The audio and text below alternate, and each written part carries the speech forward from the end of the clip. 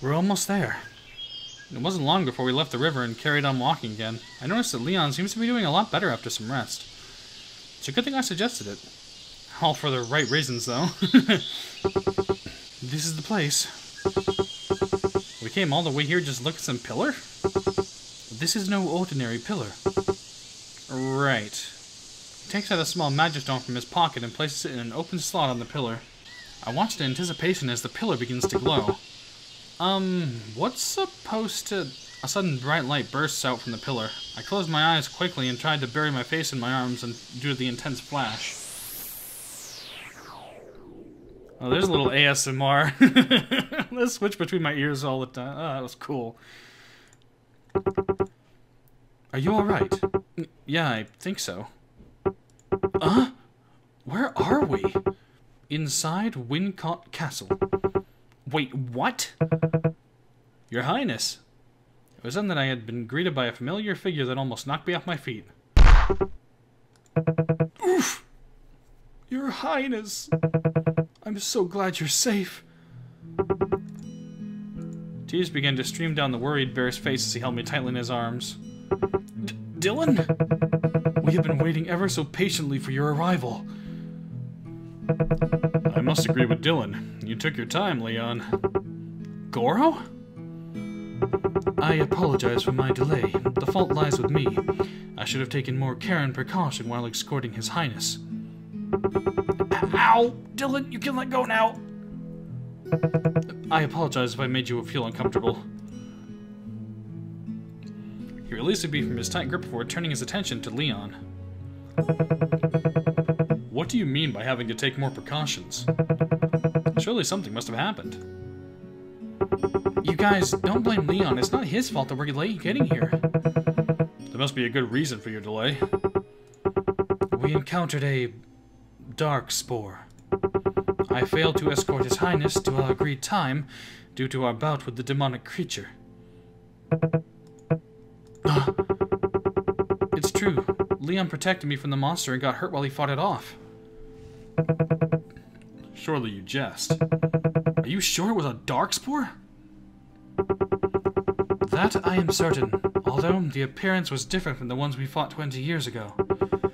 The this one was a lot stronger, cunning, and faster. By my tail. What of your injuries? I am well. Lyric... Um, His Highness saved me. I didn't do anything. It was the Boko that helped you. Nonsense. If you were not there at the time of my dire state, I would have... Oh-oh. Dylan's jealous. Oh, so that means Dylan had already fallen for the main character. Oh boy. Ooh, there's some tension right there. I sensed that Dylan was watching us closely as Leon and I tried to talk to each other normally.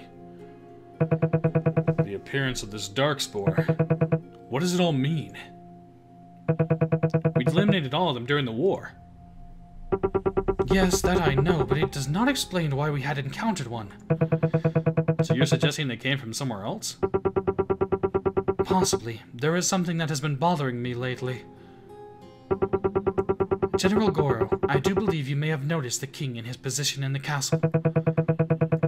Well, I couldn't say for sure. I have not seen the king in a... Precisely. The king? Yes. We knew of the actions he took to hunt down his highness by controlling the dark spores. Seriously? Seriously, he's controlling the dark spores. Yeah, it's true, he is. As hard as it is for you to believe, I can imagine no other beastman capable of this hideous act.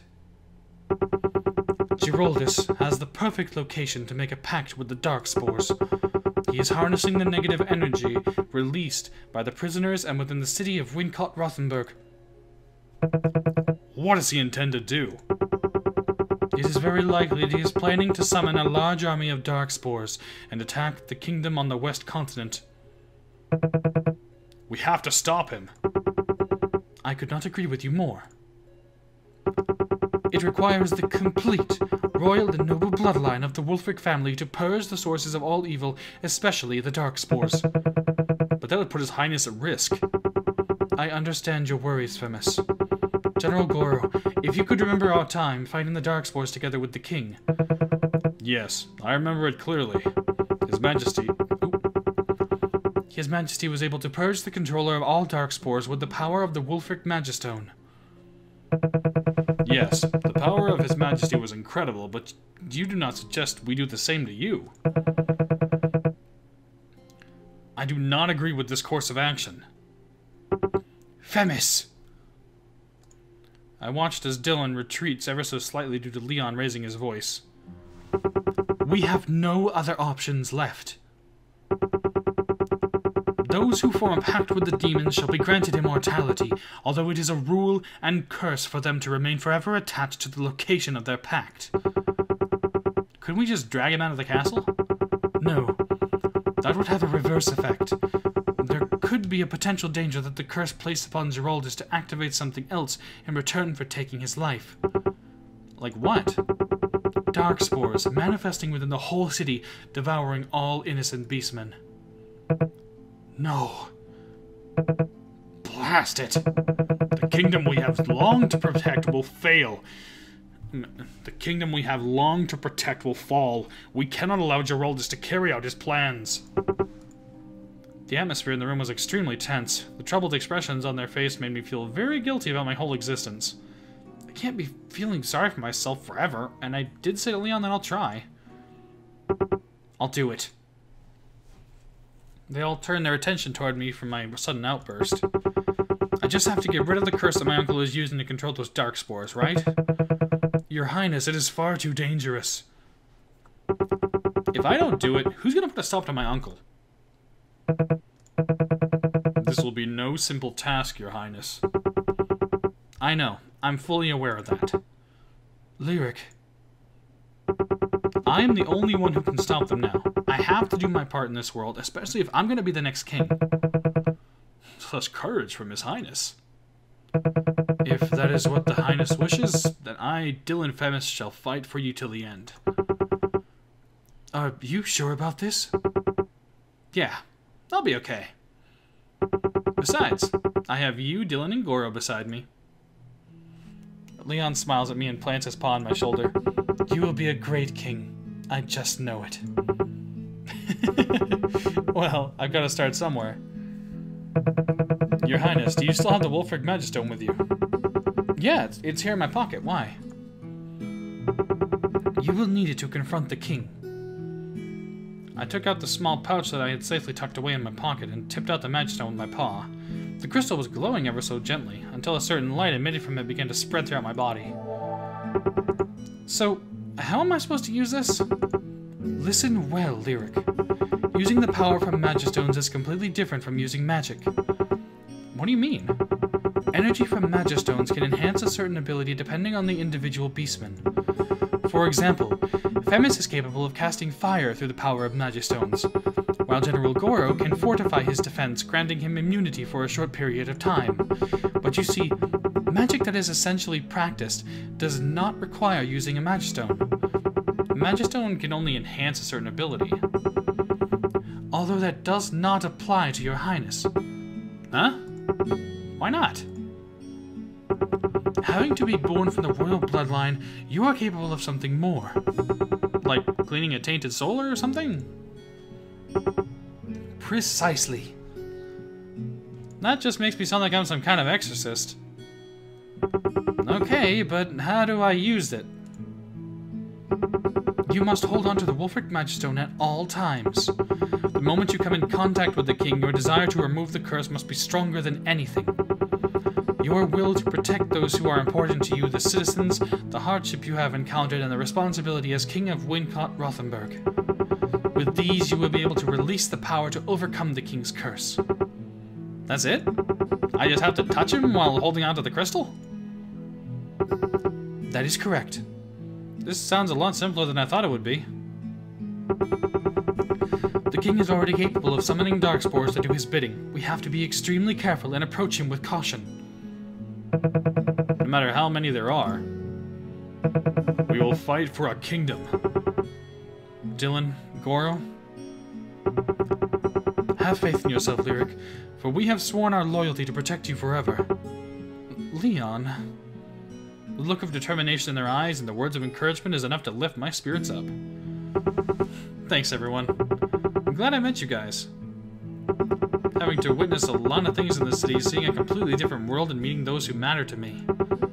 I've lost so much in the past, but now I have a lot more than I could ever ask for. I have to stop this. I don't want anyone to go through the hardship and pain that I have. I don't want anyone to suffer from the death of their loved ones. To be betrayed, to lose trust, to gain trust, to love. All these have shaped me to become someone better. These are... these are all things that has made me who I am today. And with these feelings, I will protect the kingdom and those important to me. Well said, your highness. Like father, like son, you have the makings of a great king. We shall leave at once. Not so fast, Leon. The soldiers are currently on patrol in the castle. Hmm. I suggest for myself to act as a decoy to... No, Dylan, I will not allow any needless sacrifice. I shall go instead. Are you sure about this? Worry not, your highness. I shall round up the soldiers and inform them of a threat taking place outside of the city. I shall return shortly after giving out the orders. In the meantime, we shall prepare ourselves. Goro gives a stern nod and, and begins to make his way out of the dimly lit room. I watch as he leaves the room through a dark hallway. Are you sure it's safe to go out that way, and where does it lead to? As long as we are careful out there, there should not be a problem. That exit shall lead us to the main hallway located on the third floor of the castle. I see. Leon. Yes, Femis. Do forgive me for asking, but has something personal happened between you and His Highness? Whoa, that's a bit direct for a question. Yes. And that's a seriously direct answer. I do not intend to hide it. I see. Surely you must understand what you have done can... I do, Dylan. There was something very serious about his tone when he said his first name. I know the consequences that may befall his highness, but I have also realized something important after meeting Lyric. I blushed ever so slightly as Leon turns to look at me. My feelings for Lyric, the bond we share, is greater beyond any duty and loyalty. Even so, I will never stray from my path as Minister for the Kingdom. I am aware of the difficulties ahead of us.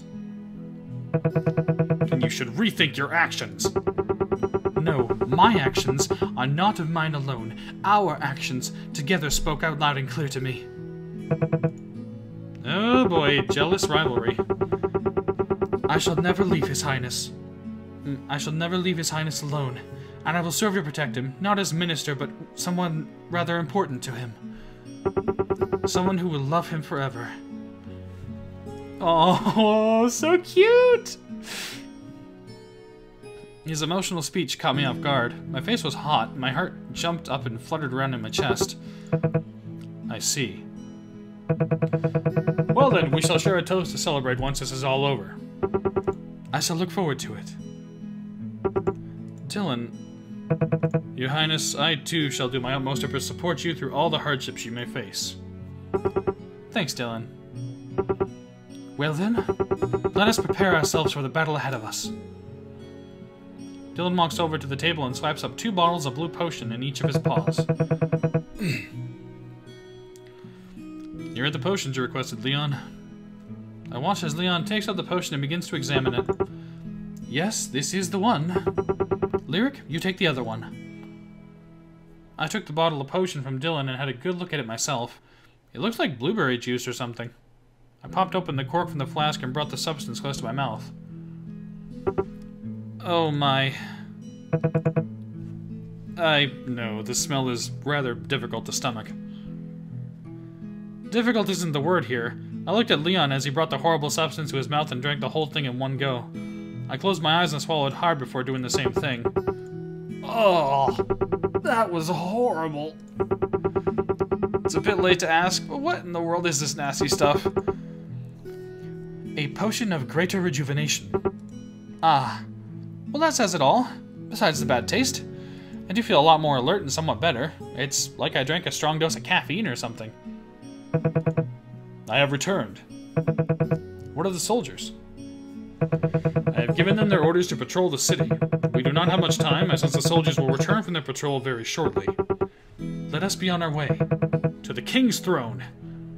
I followed as they all left one by one until I was left alone with Leon. Leon. Yes, Lyric. Thank you. No, I should be the one to thank you. What for? Even if it were for a brief moment for us to spend our time together, you have given me hope and joy. To watch this kingdom fall that my father had loved and protected is extremely painful for me to witness. As his son, I wanted to live up to his expectations, to serve his majesty and to protect the kingdom. I may have failed once, but I promise I will never fail again. Leon. Once this is all over, let's go to the river again. Yes, I would like that. Come, let us not keep them waiting. This is it. Ready your weapons. Dylan and Goro unsheath their swords while Leon produces a small grimoire from inside from his inside pocket. Goro pushes open the big door with great force, and not a moment later we storm into the room. Geraldus! What is the meaning of this? Ah, General Goro, how kind of you to bring me the Caninian. No, Geraldus, His Highness has chosen to come here himself to claim his rightful place as king.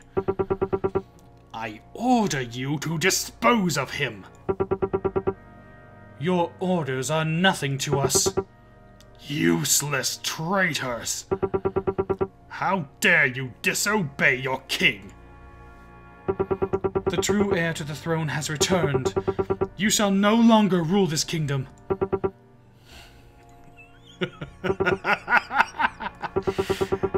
and do you honestly think that the four of you is enough to stop me, Minister Leon?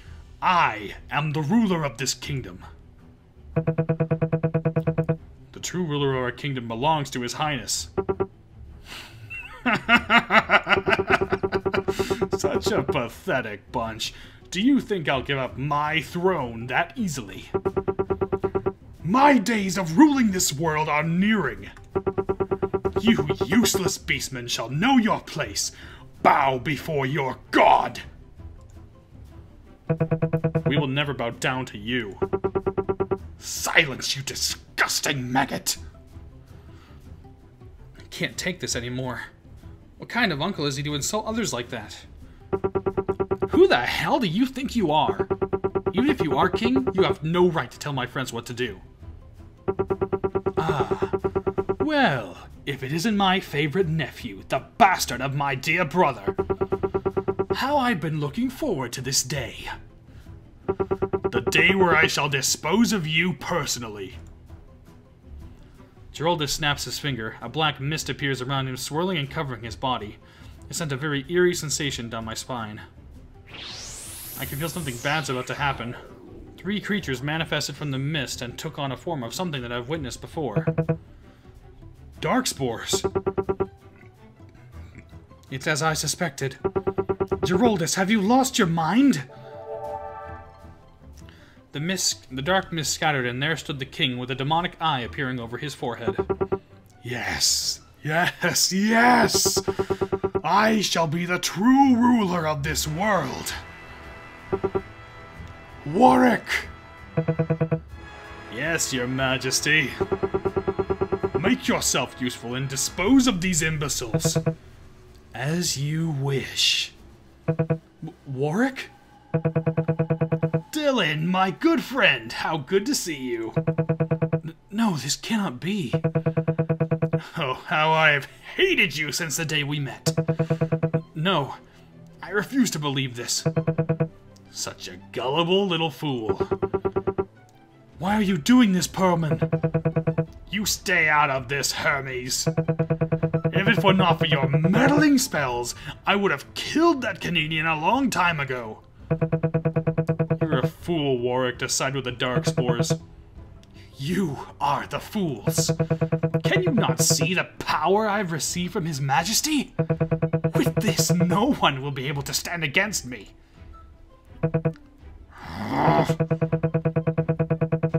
Such a pity. Who would have thought that I was working for His Majesty? You traitor. no matter. I'll take your head first and then murder all those who matter to you. No.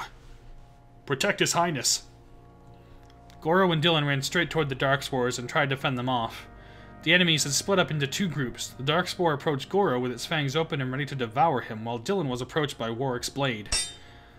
As they were preoccupied by their enemies, the two remaining creatures approached us quickly. Stand beside me, your highness. Leon opens his grimoire and begins to chant something from the page. The fiends lunged, at, and lunged themselves from either side with mouths open, ready to strike.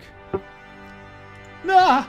Just as I thought I was, uh, just as I thought I was about to be eaten alive, the dark spores were repelled from us. The impact was so strong they flew right across the hall. Ugh, what are you doing? Kill them! Kill them all! I looked around and saw a large magical barrier had surrounded us. This barrier cannot hold for long, Lyric. I shall keep up the other dark spores at bay. While I can only hold them off briefly, you must stop the king. I...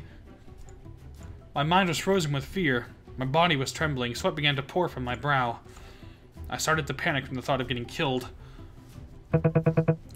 Go, your highness! Dylan, I have faith in you. You must do what is right for us and for the entire kingdom. Your highness, go forth. We shall protect you. Dylan, Goro, do not worry, Lyric. I shall keep you safe at all cost. Leon. I looked at all three of them, struggling, fighting, and giving everything they can in order to save this kingdom. I mustered all the courage I had left and prepared myself for the worst case scenario. The creatures that were sent flying came back to attack us again. Your Highness, the barrier is about to disperse. Prepare yourself. Yes. Leon begins to chant something again from his book. Just before the barrier was broken, lightning shot out of his paw, immobilizing the two darkspores. Go now! I ran as fast as I could to the throne, giving everything I got in order to reach the king. My heart was beating so fast that I can almost hear it ringing in my ears. I sped past Goro and Dylan as they fought hard to protect me. N no! Stay away from me! What do you think you're doing? I'm almost there. If I can just reach him. I was at arm's length until I realized that something didn't feel right. The evil grin that spread across his demonic face told me to stop. Just as I was about to lunge myself forward to attack him, he pulls out a dagger which he was concealing and swings it across my head. I was but an inch away from his blade. His attack took me by surprise. I fell to the floor panting and unable to move. Ah! Lyric! Your Highness! No, I'm gonna die! The figure of my uncle approaching me as I held onto the... Uh, oh. The figure of my uncle approaches me as, he, as he held onto the dagger. Triggered the horrible memory of my brother from the past. N no! Die. Son of Albert! Lyric! No! No, no, no, no, no, no, don't kill him! Oh, just as I was about to be brutally stabbed, a bolt of lightning shot past me, hitting Giraldus. Lightning coursed throughout his body, causing him to delay his attack. Such a pathetic spell is not enough to stop me! I am immortal! I quickly rolled over to my side as he resumed to strike at the floor. Your life ends now! Lyric, remember your training! I gripped onto the Magistone and pointed the crystal at Giraldus. There is nothing you can do now! Die! I closed my eyes quickly and began to channel the energy on the tip of the crystal. A burst of light exploded in front of me. Giraldus drops his weapon as he tries to cover his eyes while wailing in pain. Ah! My eyes! I did it! I managed to cast my first spell! Hurry, your highness! You must end this now! I got up from the floor quickly and began to approach Giraldus with caution. I kicked the weapon away that was lying idle on the floor in case he tries to reach for it. I watched as he desperately covers one side of his eye and tries to look at me with the other. My dear nephew. He fell to his knees as, as he began to tremble with fear. Please, have mercy. Surely you cannot come to harm your uncle. You are no uncle of mine. I struck my fist into his demonic eye as hard as I could. The moment we came into contact, visions of my past began to flash before my eyes. Emotions portrayed in these images began to swirl around in my chest. Everything that I had witnessed, everything, every, everything that I have witnessed, every experience that I had to go through has made me who I am now. I finally come to realize that my existence and my purpose for having to be born in both worlds. I, Lyric Rhapsody, am the true king of Wincott Rothenburg. A burst of light emitted from my body and engulfed the room. It was so bright that everything started to become a blur for me. No! I cannot be defeated here! My throne! My kingdom! No! The distorted figure of my possessed uncle begins to disintegrate in front of me. I watched as his body slowly crumbles to the floor until nothing is left but a pile of dust. Highness! Your Highness! Lyric! Voices of my friends gradually faded, and so did the light. I finally did it. Thank you for reading. You got good ending. Don't forget to save your progress.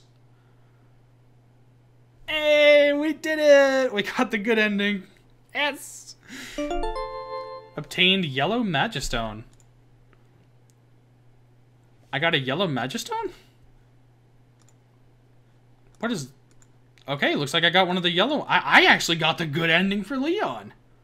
Awesome! Uh, well, I think I got the blue one last time. I don't entirely remember. I could have sworn I got one for, um, for Dylan.